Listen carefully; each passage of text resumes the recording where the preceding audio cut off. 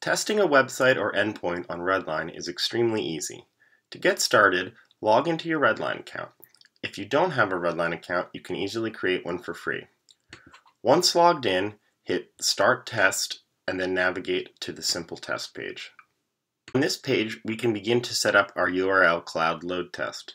Begin by dropping in the URL of choice and then start to play with the parameters.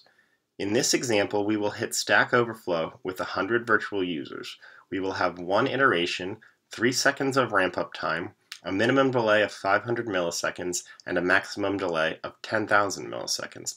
Additionally, we will select Save Response Output and calculate percentiles to access even more reports. Next, we will begin to play with our advanced cloud options. We can run small tests on Redline for free, or we can run them on our own AWS environment. Here we can select which servers to use, the number and location of servers, and input any necessary security groups. In this example, we will test on two on-demand M3.medium servers in Germany. If needed, we can also add any GET slash POST requests.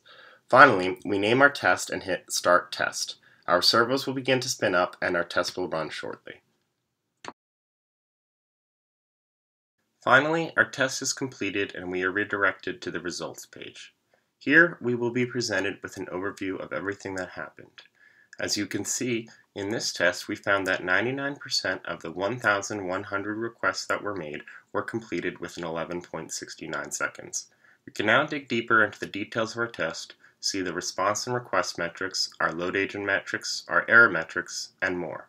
As you can see, URL testing on Redline provides you with an affordable and easy way to load test.